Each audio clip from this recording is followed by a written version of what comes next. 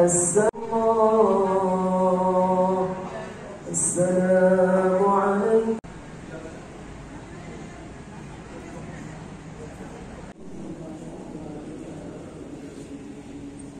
الحمد لله رب العالمين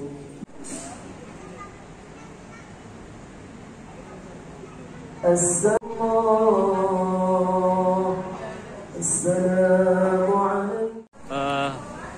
Pak bisa diceritakan Pak tentang doa bersama ini seperti apa dan harapan kita warga Sunda yang ada di Sumatera Utara ini seperti apa?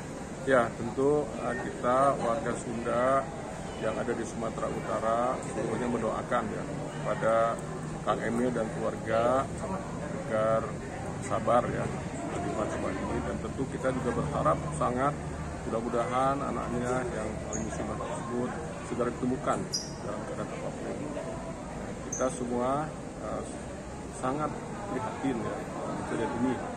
Kami keluarga warga Sunda yang ada di Sumatera Utara merasakan menjadi saudara dengan Pak Emil supaya Pak Emil lebih kuat menerima uh, cobaan dan musibah ini. Insya Allah kami warga Sunda yang ada di Sumatera Utara selalu bersama dengan kalian dan keluarga. Pak, izin Pak nama Bapak. Saya eh, Profesor Dr. Dadan Ramdan, MSc, Rektor Untas Area.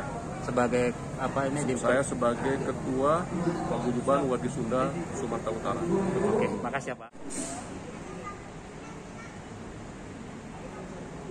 Assalamualaikum.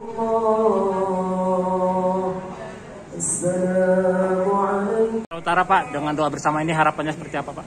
Kita mendoakan untuk putranya Kang Emil, Ridwan Kamil. Ya sampai sampai detik ini belum ditemukan. Semoga Allah menolong, membantu, memberikan yang terbaik.